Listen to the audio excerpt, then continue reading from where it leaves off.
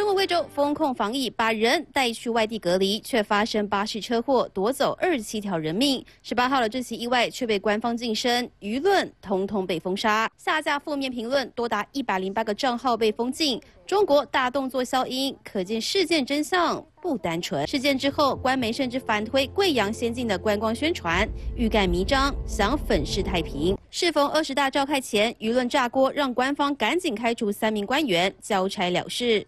强硬风控惹得中国境内民怨四起，即便解封也是乱象不断。十二点过的成都火锅店，近来四川成都就有民众拍到，都凌晨十二点了，火锅店外还是大排长龙，民众排了四百多桌，还是进不去。中共雷厉风行的维稳政策，难保不会在二十大期间出现反作用力。在新闻黄春怡报道。